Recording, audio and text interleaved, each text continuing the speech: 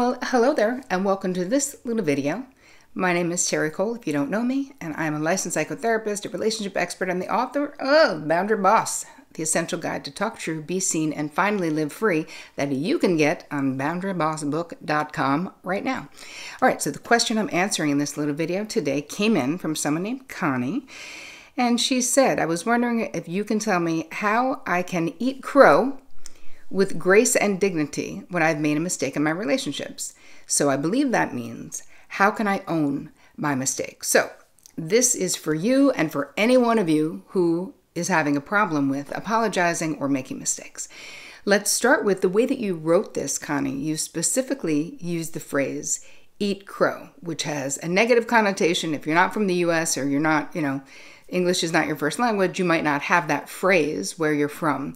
But it means like eating humble pie is a similar phrase. It's like you are admitting that you've done something wrong, but it's almost like there's a humiliating connotation to that phrase.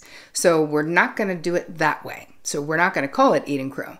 If what you're asking is how can you take responsibility for making a mistake and coming back to your person and apologizing, well, that I can definitely help you with. First of all, that shift in mindset is going to be the most helpful thing is to not look at it like it's some humiliating experience because it doesn't need to be. The more we normalize admitting that we've made a mistake in our relationships, the more it's it's mutual. A lot of times that means the other person will do the same. You can you can even acknowledge it and say, "Hey, I, you know, this is new for me, but I feel like I want to acknowledge that I made this mistake.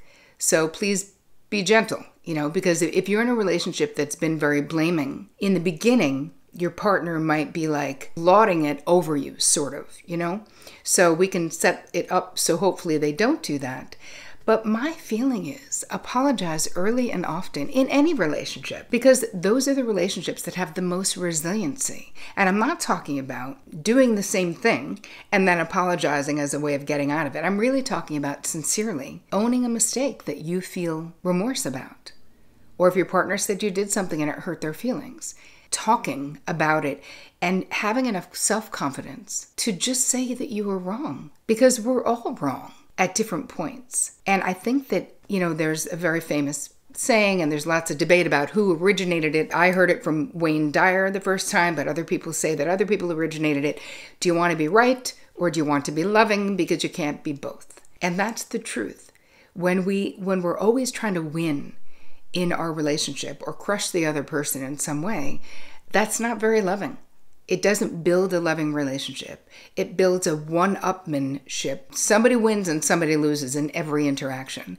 And in a healthy relationship, it really isn't you against me. In a healthy relationship, it's us against the problem. So you want to create that open dialogue, which is why I always say with couples, I always suggest that you do what I've named the State of the Union, right? Where you meet once a week or every other week over a meal and talk about how things are going.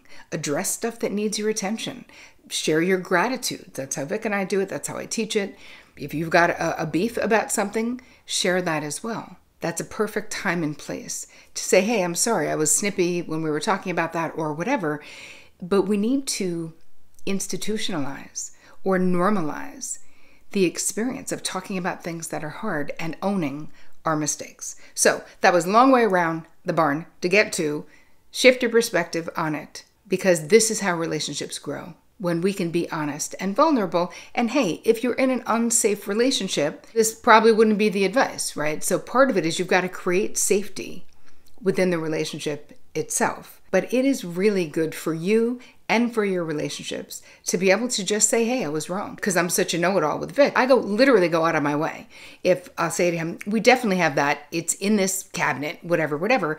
And then if I go and see that he was right and it isn't there, I will uh, go out of my way to say, you know, babe, you were right. It wasn't in the cabinet where I said it was. We do need to pick that up or whatever.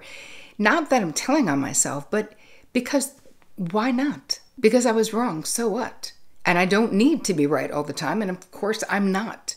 But it feels good to be able to say, "Oh my God, I'm sorry, I was wrong about that." There, there's a relief being able to be that vulnerable, and the other person, I expect Vic, you know, he'll be like, "Oh, there's no big deal," but it feels good to me to acknowledge it. So anyway, I hope that that was helpful. I would love to know what you guys think about the notion of eating crow, admitting your mistakes in your relationship. So tell me all about it in the comments. I hope you have an amazing week. And as always, take care of you.